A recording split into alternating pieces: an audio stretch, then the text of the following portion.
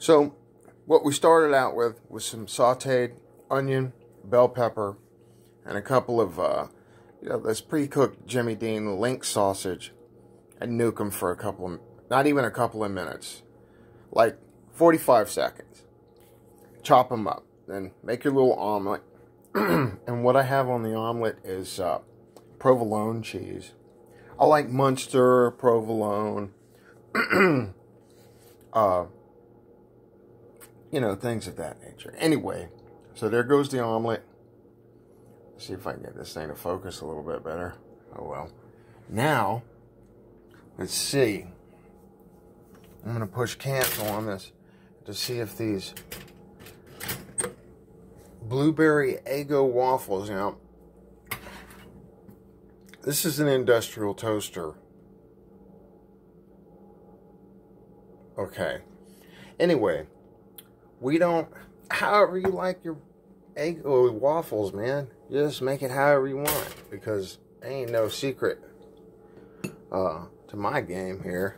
One thing I'm doing now is if you'll watch closely, what I'm going to do is just put a little syrup in these holes here. And you can put butter, whatever you want. Make it however you want to make it. Put that bad boy right on there. Now, we take this omelet. Ooh and we lay it right on there like so. And then we take the other Eggo waffle, which was kind of, I don't know. Ah, just put it right on the thing. Sounds weird? I don't know. You got salty, you got salty, sweet, you know, all kinds of crazy flavors going on here.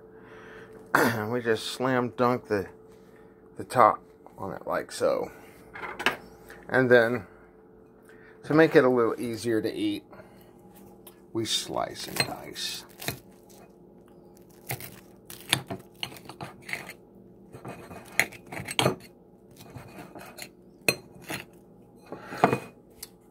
There's the half. So, as we say in the deep south, half and two, half and two cut it half two and then cut it half in two yet again. Does it make it? Oh, Jesus H. McGillicuddy. You ever heard of him? He's Puerto Rican and Irish. Well, there you have it. It's pretty yummy.